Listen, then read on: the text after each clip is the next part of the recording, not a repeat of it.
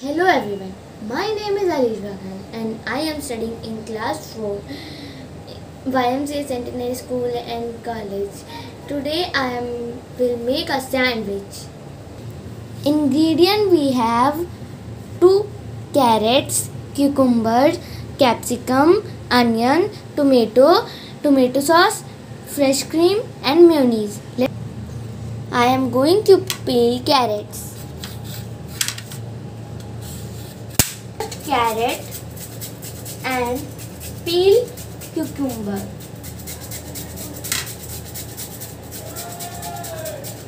Then I go I am going to cut a small pieces of cucumber. Cut. Now we have to take mayonnaise in a bowl and add some vegetables. These vegetables are optional if you want you take and not so not take and cucumber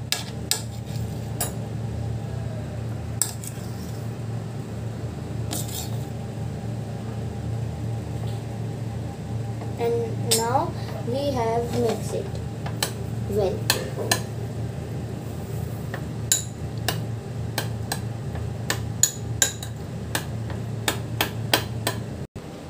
So the mixture is ready and now we have take two bread slice soft and spread it in bread.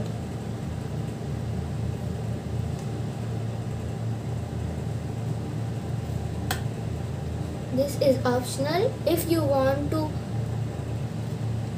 if you want to spread all vegetables you can and if you not have to spread it you can skip it. It means you can skip it. You can take more vegetable at the place of onions.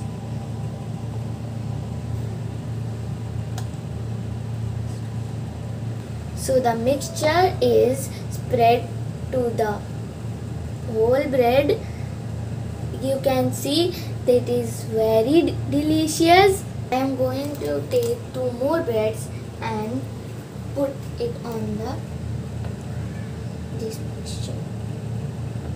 now your sandwich is ready. I'm going to cut it into two parts. You can see it. Your sandwich is ready.